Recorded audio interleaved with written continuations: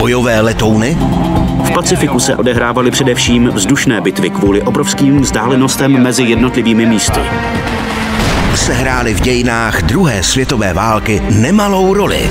V severním a středozemním moři jsme se vždy mohli vrátit na naše pozemní základny a do našich přístavů. Tady musíme zůstat po celou dobu na moři.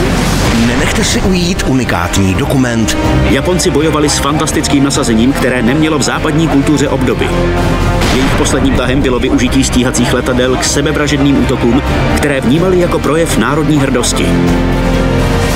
Bojovníci druhé světové války, válka na moři. V úterý ve 20 hodin na CS History.